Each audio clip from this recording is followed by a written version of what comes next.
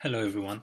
I'm about to release version 1.6 of the Corgi engine um, and I just wanted to show you guys uh, one of the new features. Um, as you may know, uh, the Corgi engine is based around raycasts for everything uh, in terms of collision and you know jumps, everything, um, which makes it independent from Unity's own uh, Physics 2D system.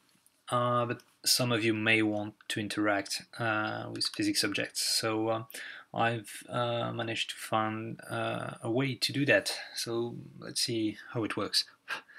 You'll see it's very simple.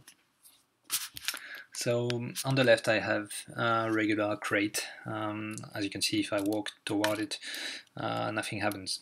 On the right however is a new type of block uh, which I can interact with. So if I just move towards it, um, you see I can push it, I can walk on top of it, I can you know move it around and um, like you would with uh, a physics object. Um, so how does it work and how can you do that? Um, the, the, good thing is uh, it doesn't require any additional scripts. Uh, all the modifications have been done at the, the character level. Um, so the only difference between this box and this one is the fact that this one has a rigid body 2D.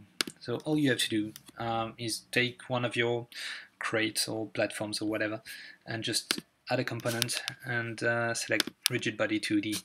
Uh, you just want to leave that as it is. Um, and if you press play again, you'll see that you can now move the box or whatever it was uh, you had. Um, obviously there's no um, pull mechanism or something uh, like that right now, but can be easily added. Um, I wouldn't recommend uh, to use the engine if you want a heavily uh, physics-based game.